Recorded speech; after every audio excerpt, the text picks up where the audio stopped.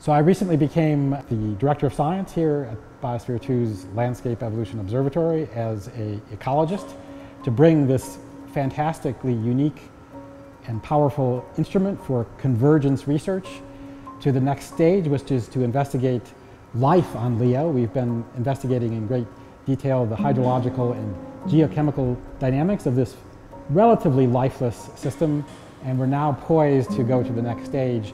We've been able to receive from the National Science Foundation a new $3.6 million grant to investigate the question of landscape terraformation. How, does, how do rock, water, and carbon dioxide converge to create multifunction living ecosystems?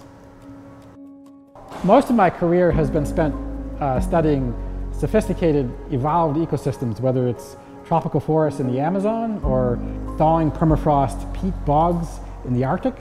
But what we haven't been able to get at from those sophisticated, sort of, in some sense, fully assembled ecosystems, fully operational systems, is insight into how that complexity builds up from ground zero.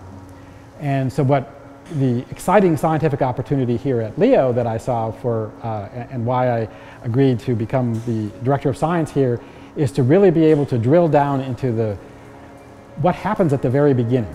How does primary succession take over a barren landscape? How does rock, carbon dioxide, water, and a few initial plants take over a system and create a, a habitat uh, to terraform basically the landscape into a habitat that is conducive to, to life.